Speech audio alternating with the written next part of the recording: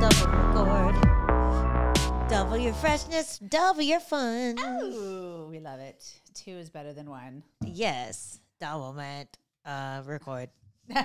hey, What's up, everyone? hello. Oh my goodness! So uh, we had a really wild night last night. Yeah, we had fun. We got to go to UFC 298. Yes, it was a little, a little sad for me. I mean, I was sad with the Volk. Yeah, that made me, that made me sad. I, I kind of wondered how he would do coming off of such um a, a bad knockout and then having such a quick turnaround. Yeah. That always, you know, piques my interest. And then um somebody like Topuria, who's you know a beast, a power puncher, um, and just a lot to handle in the octagon. Um, I wasn't necessarily surprised. But what's even crazier is he's asking for an immediate rematch. Yeah, I love that. But I'm not really surprised by that either because he's kind of a never gonna hang it up, never gonna quit, always ready for the next scrap kind of guy. And it's a little different from his uh his kind of brother in Adesanya where he lost that fight against Strickland was kind of like you know what? I need a break. I need a mental reset. This is a bit much. My body hurts. My brain hurts. I just need to chill out for a second and focus. Like you can, you can, you know, he's hurting as he's saying these words, but he's just like, I'll do the rematch. Please give me the rematch. He's kind of addicted, you know, to the fight game. And that's how most of us are. We're addicted to fighting, addicted to uh the thrill of it. People, Okay, people yes. chase the high almost, you know, almost, I, I don't want to say like an addict, but it, you cannot imagine the high that one feels after winning a fight, let alone winning a title. Oh my God. Um, and then the lows I want to imagine it. are, are the, the lowest, the lowest thing you can possibly imagine. So Mm. it's just this roller coaster and you're constantly trying to, to, to chase it, to achieve it. And so I understand why he would want to get back in there, but I really think he, that he should take a, a page from Adesanya's book and, you know, hopefully his team can sit down with him and just say like, Hey, maybe you need a break. It was interesting watching um uh what, what's his uh Eugene Eugene and uh, Craig Jones, I think, uh, just kind of chatting before they were allowed into the cage. They were just standing by the door and chatting. They were facing right towards us, and I was trying to imagine what they were saying Yeah. because it looked like they already saw the white writing on the wall before it happened. I know whenever you're cornering someone, you always think about the best case and the worst case. Mm-hmm. And that was kind of the worst case, but I feel like they had already mentally prepared for it by the way they were standing and chatting and kind of discussing seemed like discussing what happened before they were allowed into the cage to check on their fighter. Um and it was a very calm thing. So I feel like uh this gym is probably going to get a lot of slack and a lot of um, negativity thrown at it just because of the few losses that they've had on a big scale. But I felt like they were handling it in the right way. They were prepared for that outcome. And, you know, you can only protect your fighter for as much as they're willing to let you protect them. He's not going to turn down this big opportunity, even if he just got knocked out, even if he might have gotten hurt in training, or, you know, when you have a concussion, it takes a long time for that to heal and a long time for you not to react as much to a hard shot. Your chin never really recovers. So it was a really quick turnaround. And I feel like the, the body language of the coaches kind of told me that they knew this was a big possibility. Sure. I mean, they they're a really well prepared gym. They're uh, very savvy. They're very in the know with you know technique, reading people, reading their fighters, reading opponents. Um, they they've got to be aware that that was a huge risk and possibility. Um, the the brain just it wants to protect itself, and after such a devastating knockdown or knockout, so excuse me, um, it's it's no wonder that the brain wanted to protect itself again. hmm Yeah, not everyone's um gonna charge forward like Mackenzie Dern, half concussed like a zombie, Well, also, and No, still grab the leg and and somehow wrestle up to a good position. Like uh people's brain usually shuts off when they get hit hard, and when it happens once, it's a lot easier for it to happen again. Sure. And I mean, she didn't have the best reaction initially. Um, I'm when she got, you know, popped in the, in the nose or in the eye when, you know, she got that bad cut. She didn't react very well, but it wasn't necessarily um, you know, like a, a such a devastating blow that she was completely discombobulated. It was like a, you know, spinning your head on a bat and trying to run to first base kind of thing. Mm-hmm. Um, so she she ended up doing what um, you know what she's trained. Her uh, body kind of went into autopilot on that one. Mm-hmm. Um, so yeah, that's you know different scenario, and somebody like that hits as hard as Topuria and Volkanovski, that's going to have a, a much different reaction. Yeah, I, I just think the the natural reaction is, I mean, not the natural reaction, but most people are gonna drop like that after getting hurt, you know. And um, yeah, it just it just sucks that he had to go up against uh, such a hard hitter like Topuria. Like that guy's been knocking out everyone. Only person he didn't knock out was Josh Emmett, who's another one who just has a head made of rock, and he will wobble his way back into the fight. And you know, not everyone has that uh, gift, I guess, that thick head. Yeah, I did see. Um, you know, the, our coaches talk a lot about you know the follow up. You're not just looking for that one punch. It's important to throw a combination. Maybe it doesn't necessarily land well, but then you follow up. You follow up again. So kind of staggering and uh, staggering the attacks. And that's what I saw last night with Topuria. He didn't necessarily catch him solid, but his second attack is is what ended up finishing him and dropping him ultimately. Mm-hmm. So it was um it was you know a little mental mental note. I was like, oh, that's what That's what that's why that's why we do that. That's, what, it looks he like. was talking about. yeah, it was similar to the Emmett fight where he was able to just find that angle, that like right over the shoulder angle, um, when someone's long hair and able to jump in and out. He was able to just kind of pop, pop, pop out, and then come back in right over the shoulder. It's almost like your shoulder is blocking your vision of where that punch is gonna come from. And uh, it's really crazy when someone's able to land it on you because it's one of those punches you don't see. It just sneaks right in that tiny little hole that's open. And Topuria does that with everyone he he's stands and trades with. And it's really crazy that he kind of came in as a submission artist.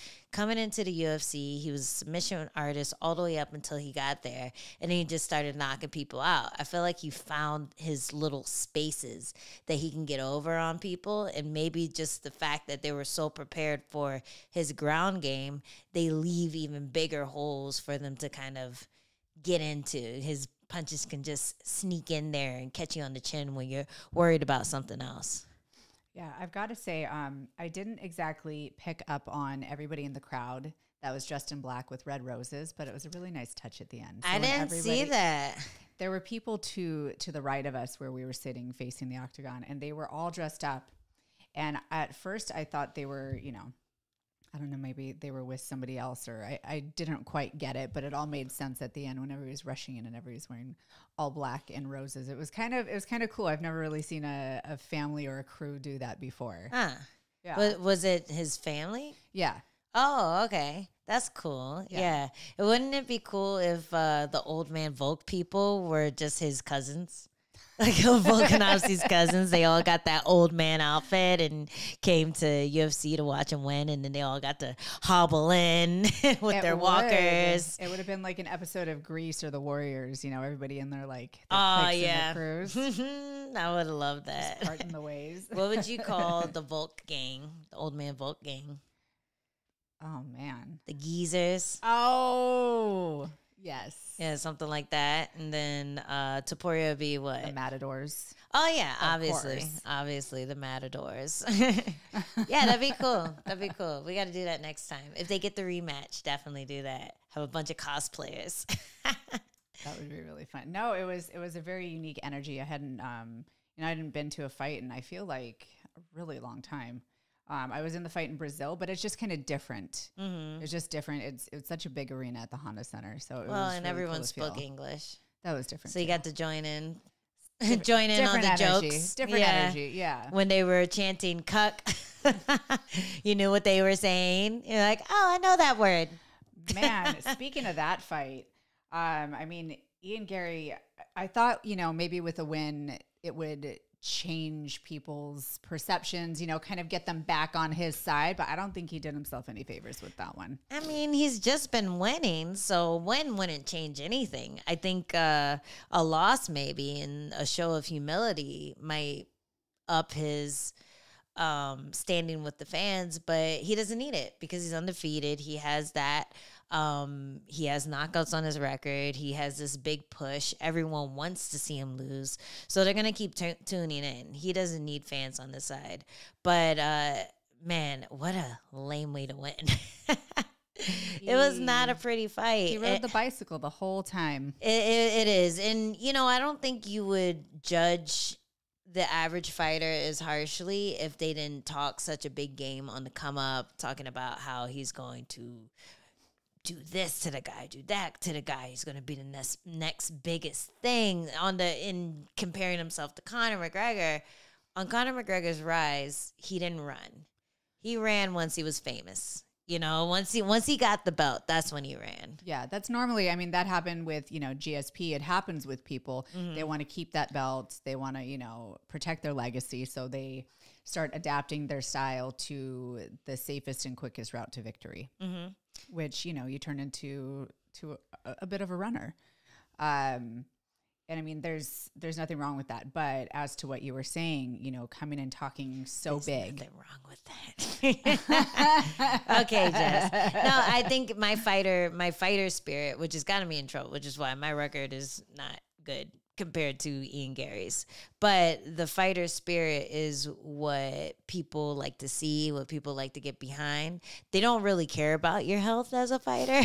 No, and I no. think Ian Garry was protecting his health because uh, Geoff Neal has hands steel. He he punches like a brick. So you can tell he was just playing it safe, doing just enough of what he could do. It, it reminded me of a Muay Thai fight where you watching like Lumpini Stadium. These guys are fighting, but they have another fight in two days. Mm-hmm. So they're gonna do just enough to win. Once they feel like they win, they start dancing. Yeah. The fourth, or is it the fifth round? The fourth or fifth round is always uh, it's a dance off. Yeah, Yeah, that's it's the last round. But then they do it if they secure a round, they'll just kind of circle and make sure they're safe. And that's kind of what the second and third round was for Garry. The first round I thought was clearly nil.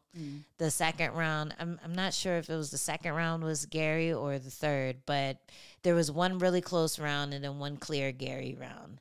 And uh you can tell in the second he just started doing just what he needed to do and then getting out of the way of danger. Mm-hmm. And Geoff Neal was just kind of chasing him a lot. So you can't just blame Ian Garry. But I'm sure that wasn't the fight that Neal was prepared for. no. And if you're not preparing for that kind of fight, sometimes it is kind of a, a challenging adjustment Yeah. because you have these things that you've ingrained in you and your muscle memory, and you're just ready for that. And so, if it, it can be a challenge to kind of make that adjustment on the fly. The mental toughness of still playing that game when people are chanting cuck though. That's pretty impressive. Cock, cock. I was like, what are they saying? Wait, what are they saying? Are they saying cock? Like cockadoodle? They weren't saying cock like that. Ah, maybe they were saying someone else's cock. Somebody else's. Um, we digress. But uh, yeah, he played the game. I wouldn't be surprised if he fought that way just to piss off the fans. Who knows? Who Like, knows I wouldn't be motivations were? I think he was trying to win, and he knew that he had, you know, a, a tough opponent who could, you know, possibly drop him and, and take him out of his win streak. But usually he throws all caution to the wind and just goes for it. He'll Sure. get dropped, he'll come back. I know he's probably uh, working on playing it safer, but we've seen him get hurt and then come back and just kind of not give uh, a damn about what his opponent is doing, how strong his opponent is. Maybe this is the first guy he's actually respected outside of the previous fights when it comes to power. But I wouldn't be surprised if he was just like, "Oh yeah, oh oh okay, all right, I'm gonna still win this fight, but you're not gonna be entertained. You can suck it." he might be cheeky like that. Who knows? He's definitely cheeky in a pri- in a uh, press conference like that. So who knows? Yes. covering his tracks. Uh, how cheeky was Merab in his fight? See, Oh. there's a difference with like how Garry is cheeky, and then there is a difference how Merab is cheeky. He is a likable little little guy. He's a little scramp. He, he's so likable. He can, you know, a scramp, a scamp. He little can, scrambling scamp. he can, you know, neck at Henry Cejudo when he's got him in a headlock. He can, you know, pick him up and walk him across the octagon, and you know, people cheer. Some other some other people might think like, hey, that's poor form, bad taste. You're, um, you know, making somebody look bad, or you're doing too much, kind of thing. But everything he did, I thought was adorable. How are you gonna look like the bad guy when you're fighting Henry Cejudo? That is fair. I didn't specifically say Henry. I I, just said a person. I think Garry would look like the good guy fighting Henry Cejudo. I don't know. I don't know. I think he would. I think he would. He's he's a little newer. He has more flashy knockouts, so at least recently. So I think I think people would be on Garry's side before Cejudo's. I don't know. Maybe it depends on where you're fighting, but they're both pretty bad guys. They they both play good hills. Yeah, but it's in a different way. Yeah. I, I think that uh, Cejudo is just so um, choreographed and, you know, wrestly. So who would you root for? Cejudo versus uh, Colby. Oh, God. Oh, God. Um, I, oh, no. We need to make do a it. bracket. Don't make We need to do an do eight it. man bracket of the most hated heels in MMA right now and see who ends up on the top. Man, just because I think, just because Henry is a family guy, I, would- you know, I have to believe that there's some, there's some good redeeming qualities in him. So I would go for Henry against Colby. There are people who like him enough to not be paid Exactly. exactly my point. for the hour. uh, yeah. Um, I don't know. I thought uh, I thought Merab was super fun to watch. He's just been really killing it with the social media stuff too. And then you see him get out there, and he's the same fighter. He's he's going out there. He's having fun with it. He's securing stuff. He's putting himself in danger. He did get wobbled a little bit in that fight, and we were like, "Oh no, not our good guy!" And then he comes back to pick up Cejudo and like drop him in front of Mark Zuckerberg and just go, "Ah, I'm gonna choke him," or I don't know what he was saying, but he was just like, "Ah," and Zuckerberg was loving it. I felt like he was, uh I forget his name, but the the like the prince in Gladiator, the prince or the king in Gladiator when he's waving his thumb in the air and Yeah, then yeah. eventually he just went. it's the only person he did that for because everyone else, uh, Dude, I feel like Zuckerberg is kind of like uh, Drake in the sense that he is like really taking fighters out with. he's a new uh, curse. He is. It's Yeah. a real thing. Yeah, it was. uh What was it first? Dern. It was. Yeah, Dern, um, He was in Was it Volk's s- corner. Volk, and was it Sudo or who was the other person? No, I don't. There was a remember third who- Yeah, there, person. he was in three people's corners. hmm Um, I don't remember. Maybe the- not corners, but he was just like going for them. Yeah. Yeah. And he posted pictures with them. I forget who the the third one was, but the UFC was all over it. Yeah, Uh, but yeah, I swear he. It might have been. It might have been Henry. Yeah. You may be right. And of course, Merab, being the guy that he was, would be like, "Hey, you know, next time you come out with me, okay?" I know. Don't do it. It's not worth it, Merab. It's not Merab. worth it. Don't I fall think for that. Merab could break the curse. He'll just do like one of his cool uh, traditional dances and and break the curse that way. And Zuckerberg will be blessed and ready to corner him without ruining the fight. but Zuckerberg, he's gonna be the next curse. We have uh, Drake curse, yeah. the Eminem curse, Yeah. which freaked me out once because I fought a girl who walked out to Eminem and they switched our songs. They thought I wanted to walk out to Eminem. And I was so taken aback because I knew about the curse. Like Eminem's great, you know, I wouldn't be my walkout choice, but I like a little Eminem here and there, but I would never walk out to the song because of the curse as well, you know. And then they switched, and I was like, oh no. Yeah. but I think you have to actually pick it. they someone can't curse you by accidentally Exactly. playing Eminem before. And then there's the Bruce Bus- Buffer uh, fist, Fist bump, bump. fist bump curse. So avoid all of those things if you have a fight coming up in the UFC. Don't do it, guys. It's not worth it. Avoid. I used to be, you know what? I used to be really, really superstitious. Oh, Uh, yeah? Up until I got into the Ultimate Fighter house, and then I couldn't do any of my like weird rituals. Oh so no! that really like yeah that really got rid of it but for a long time like i mean i think there are fighters who are still like you know wear their lucky shorts yeah. wear their lucky bra you know do do certain things like there's all these like little checkpoints that you have to do it kind of becomes like ocd mm-hmm. I have my uh, lucky walkout shirt that I had from Mm. my Muay Thai days. I had um, what else? I think that's it. Uh, I lost everything else. All my other superstitions I couldn't find anymore.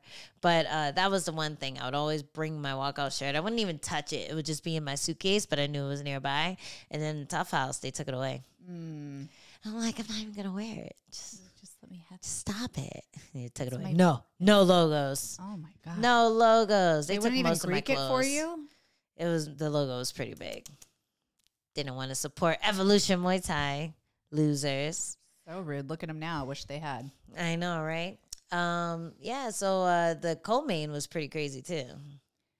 the co-main um We had um, whittaker and costa yeah Whittaker Costa. That was a pretty insane fight. A lot of people were kind of mad that they didn't get fight at night. What were you thinking?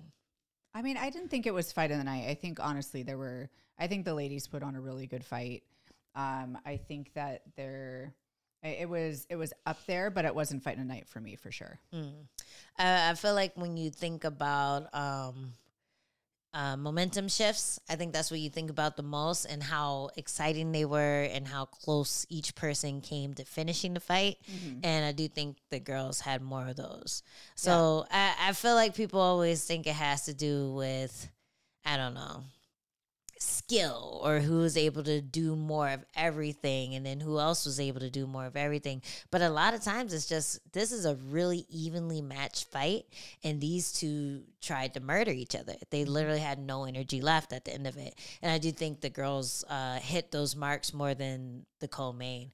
But the co-main I thought was just like really technical, really cool to watch, had moments for each fighter. And I was kind of impressed with Costa because too.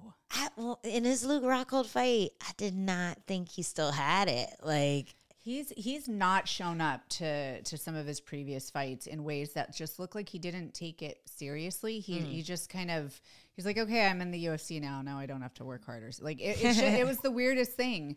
He would um I just felt like he would come in and he maybe he was trying to like swing too hard and go for that like that big knockout and he would just kind of like uh, not conserve his energy properly mm, and he would end up, you know, just um, fading out. And you know, Adesanya made him look pretty bad. So I think that was like the most lasting thing in my mind. well, he took his uh his virgin hole. he did him dirty. He did that guy dirty. he took that thing, and it, I mean that was super embarrassing. But I love the fact that he kind of turned that around and and created a persona after that. Like I don't know if he was funny before that, but he was definitely funny after. no, he's Yeah. like uh, he he's really just kind of embraced like um, who he being the butt of the joke. no, he really has, and I and I I like that about people. They can you know laugh at themselves, not Mm. take themselves too seriously, and just kind of go with it. And it takes its power away. Yeah. You know, It definitely before he fought Adesanya, it definitely seemed like he took himself a little too seriously. Um and then he just kind of started doing the secret juice bits and really playing up things, talking talking shit about other fighters and uh not in a way that you're like, "Oh, he wants to fight him," but just like in a silly way that just makes you laugh at a situation. So, you know, Yeah. maybe after you get rode in the octagon and stuff like that, everything else it just you know puts things into perspective. you just lower your guard. anymore. Yeah, literally lower your like you know what? It is what it is. It is. Uh, uh, We're all just here trying to make each other entertained. but he was super entertaining uh, last night. Um, that spinning wheel kick was insane. that was so unexpected. Like, where did that come was from? and he did it again too. yeah, like what? Whittaker didn't see it. That thing came out of nowhere. Uh-uh. What? Excuse me? Yeah. I didn't know your body moved like that. dude. It it almost looked like um, Kevin Lee versus Barbosa. Remember that fight? Kevin Lee came back and won in in the same way, but he got hit with a nasty spinning heel kick to the face and did this little dance number right before getting his wits back about him and going in for for the for the um wrestle fuck and the kicks and everything. But yeah, it was really similar. Whittaker took it like a champ. He was able to come back strong and then yeah, it was a good fight. I loved watching Whittaker's head movement. I mean, he's always been, you know, really good footwork and in and out, but I swear, like, he was on, like, just on the end, just by like centimeters of Costa's punches. And it was just so impressive. Like, his, his timing, his head movement, footwork, so impressive. And, um, and then the ability to like re engage after those punches. Mm-hmm. So impressive. Yeah, yeah, it was super cool to watch, and it makes me feel like Whittaker still got it. You know, I saw um in his press conference he wasn't really trying to call anyone out, but he's just like uh ready for whatever. He's always ready to fight, ready to show up, ready to do his job, and he always wants to make it entertaining. And that's what we saw. It was it was an awesome fight. Yeah, I think he's definitely one of my like top five favorite fighters. Aw. Just because, and he was talking about this in the press conference afterwards too. They were asking, you know, why, why do you think people like you so much, or why are you so likable? And I think That was our boy. Our boy asked that. Oh, did he? Who's our boy? Matt Davies. Ah. Yeah. Good job, Matt.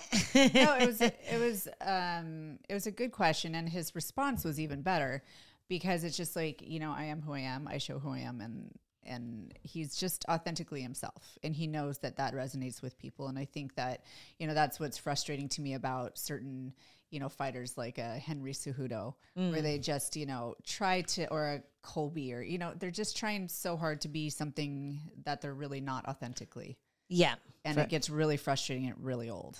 for sure. Um, also, I started liking Whittaker when he was in that Fallout commercial for a video game, Fallout. Oh, I didn't see He's it. a Fallout fan. Oh. I like it. You're cool. You're cool in my book. That's like my favorite video game. So ever since then, I was a fan. Gotcha. I haven't seen it. Well, it's a video game. Well, I know what Fallout is, but I just have never, You never haven't played. played it? Never will. Um, did you get to catch any other fights that uh tickled your fancy that you enjoyed? No, those were the ones that really stuck out. I mean, it was a really good main card. It was. It was, and the prelims kind of delivered too. They got the uh they got the crowd nice and warmed up. Um I, I do want to talk about that uh Junior Tafa versus Rogerio de Lima fight. That was pretty nasty too. I got some inside scoop on that too while we were at the fan Oh. experience. Oh, tell me more. no, it wasn't really that big, that big of a deal. But um, you know, hearing that, uh, what was his name? Tafa's opponent, um uh, uh, Delima, yeah. Jerry Delima. Yeah. Um, so Tafa, his brother stepped in Mhm. on short notice, on like a day notice, because the other big big brother Tafa had Yeah. to pull out. Justin, Justin Uh, and Junior, Justin and Junior. which is easy to remember because Justin's a big one and Junior's a little Justin. a little one. It little- makes sense. They yeah. planned that well. Good job, good job, parents. Such foresight. hmm Uh, but they were just talking about how Marcos was going to turn it down. Oh, really? Yeah. Why I d- don't know. was he scared of little little Junior Tafa? It was just the weirdest thing. Like that's Hmm. um. I mean, I feel like as a fighter taking another opponent on on one day notice, even though he was um. So this Tafa Junior was preparing for a fight like eight weeks out. So he was you know kind of in shape, but he's not peak performance shape right now, and he's a lot smaller. Yeah. Not not in this weight class technically. Mm. So it was just interesting to me that he initially didn't want to take it. And then the UFC had to come in and just, you know, entice him a little bit. Maybe he just wanted to be enticed.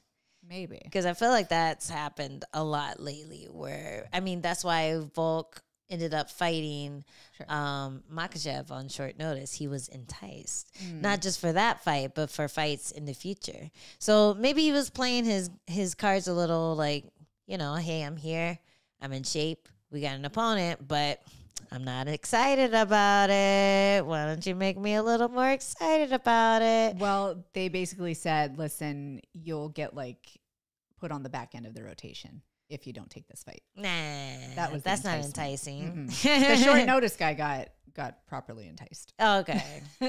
well, that's not fun. Well, I'm I'm wondering what he saw that got him a little worried. I mean, Junior's fast. Maybe that's something that he wasn't prepared for. He was prepared for the bigger, like slower fighter. And when you're at light heavyweight and heavyweight and you're fighting a striker, I feel like it's not a huge difference. It's mm-hmm. more when you're fighting like the grapplers and wrestlers that if they get on top of you, you're gonna feel that weight and it's gonna suck. So maybe he just felt like the kid could be a little faster than him. He wouldn't be ready for the combinations as well as the ones that he prepared for. Because he doesn't have the he doesn't have like a perfect record in the UFC, but he's a devastator when he looks good. So I could see him trying to play it safe, especially like at this point of his career. But didn't have to. Went out there and chopped that leg down like a tree. Those calf kicks. Mm. I was telling you, I'm like, I just want to do that to someone. So You can. because I felt it before. So now I want to, you know, pay it forward. I want to give back. I'm a giver. So generous. Um, there are a lot of good calf kicks that night. Um, uh, De Lima's were super nasty. Um, I was telling you, I warmed up in backstage with him when he, not with him, but when he was fighting next to him, it felt like I was warming up with him because the the sonic boom of his kicks on the pads were shaking the room. Oof. He he kicks so hard. He kicks stupid hard. And you can see the core underneath that belly. There's a lot of power there. There's a lot of power in his hips and in his core. But then also you saw some nasty kicks in the uh in the Dern and Lemos fight. Lemos was chopping that leg up nasty. Now that's one thing I wanted to talk to you about because a lot of people are kind of torn online on whether Lemos or Dern should have won that fight. And I was kind of surprised because we were watching it, and from what I saw, I thought it was clearly Lemos. But then when I thought back to the first round, I was like, oh, well, she did take her down halfway through, but it was all it was, Lemos had just a little bit more control time. Like Lemos was winning up to the three minute mark, and then Dern won the last two minutes. So I was surprised that people were saying that, but then I kind of understood it. But I think the people saying that didn't see how nasty her calf looked. Her calf looked like a bicep. In in those Her shin looked like a bicep. No, it looked like it was flexing on Muscle Yeah. Beach the whole time. Like It it was- was, it was pretty bad. I agree with the decision. Yeah. And I, I I didn't know how the judges would see it though. I hope that they saw it that way because I mean, I I look for consistency in the judging and now more consistently the consistency that I'm seeing is that the judges are going off of damage rather Mm. than like volume or, you know, control. They're they're looking at damage more so now. So just based off of that, in those in the first three minutes of the opening round, Lemos like had more damage. She was butchering that calf. She was making um Dern swing and miss very wildly. And so I just thought it the way everything looked, I would give it to Lemos. And I think that was the round that was in question. Mhm. Um, I just think that when Dern took her down, there wasn't enough striking or damage. It was it was control time. It was well done. It was a nice takedown, but it just didn't outweigh what Lemos did in the first round. And she also had a nice reversal towards the end of that round. Mhm. Like it was like the last 30 seconds, but she still got on top. So I think that that just solidified with the damage and then just being able to reverse and stay safe. Mhm. I think that's what stole the round. Yeah, yeah, it's it's uh funny because uh most people gave it 29-27 to Lemos. And that's because that second round was so nasty. You said she uh reacted kind of badly there and she did. I thought they were going to stop it. the way I she was- grabbed her face is like you were talking about um, before. She grabbed her face like something got broke, and it looks like it might have been. Yeah. Luckily, she's home, so she doesn't have to worry about flying or Yeah. anything if it's an orbital or, or orbital f- fracture. But even if it's just like a cartilage or something, you hear that, you feel that crunch It and the pain painful. yeah the pain is just nasty so um yeah that even though dern was able to kind of turn it around at the very end get on top and just threaten stuff and stay alive at the end of that second round um it was still a 10-8 in a lot of people's books Yeah, and in I the don't think media they're wrong for that. yeah Yeah. What was it on the actual scorecards? on the actual scorecard it was um 29-28 all three Yeah. and same rounds that we thought. Two for second or first and second to Lemos and third to Dern. No, I, I agree with it. I mean, it, it was a great fight. It was it was a valiant effort from Dern trying to come back from you know being you know rocked or or injured. You know, she still really tried to dog it out, which I appreciate. But I just think that Lemos was was granted the win, and I think she deserved it. Yeah, for sure. She deserved that one. We won't talk about that. we she deserved that one. Um yeah, any other fights you want to chat about? Um, I think that we should actually step over to our exclusive content and continue this conversation. Oh, okay. Yeah, All right. Well, yeah. let's do that then. We'll see, See you guys on the other side.